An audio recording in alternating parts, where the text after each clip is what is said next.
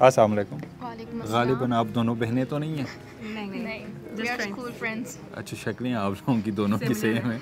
अच्छा क्या बनेंगे आप बड़ी होगी medical lab technologist research work very good और आप? Medical lab technologist research work हैं? अच्छा ये क्या ये क्यों चूज़ किया अपनी फ़ील्ड एक्चुअली Uh, हमारे यहाँ पे सोसाइटी में बहुत ज़्यादा एम बी बी एस और बी डी एस को हाइप दी जाती है और अलाइड हेल्थ साइंसेज की तरफ़ इतना ज़्यादा गौर नहीं किया जाता। ठीक है। So I wanted to choose a field जिसमें एलाइड हेल्थ साइंसेज की हो और इंटरेस्टिंग फ़ील्ड हो। मैंने काफ़ी फील्ड्स के बारे में सर्च किया था जिस तरह फार्म डी हो गया। फिजियोथेरेपी डिपिटी हो गया. ऑप्थमोलॉजी है और एमएलटी के बारे में क्या मुझे एमएलटी ज़्यादा इंटरेस्टिंग लगी थी क्योंकि इसमें आगे रिसर्च वर्क है।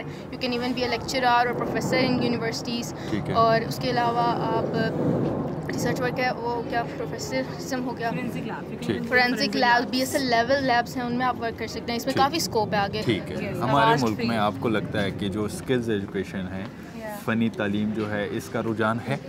रुझान है and people wanted to be skillful but still cramming ruralization a degree हाँ. matters here I mean, like many people हाँ. like they're very uh, skillful you could say हाँ. but still उनको कोई scope नहीं है कुछ कर नहीं है। सकते उसकी वजह क्योंकि क्या कोई है प्लेटफॉर्म नहीं है यहाँ पे नहीं नहीं टैलेंट बहुत है हाँ पोटेंशियल बहुत है अच्छा। प्लेटफॉर्म नहीं है कहाँ पे आए अच्छा अब आपने जो एजुकेशन जो आपके सब्जेक्ट हैं ये चूज़ की हैं आपको क्या लगता है कि आपकी कहीं बारी आएगी। बदकिस्मती से इंशाल्लाह। बदकिस्मती से ही बट आई गेस इंसान को ना सोचना अच्छा नहीं नहीं हाँ है।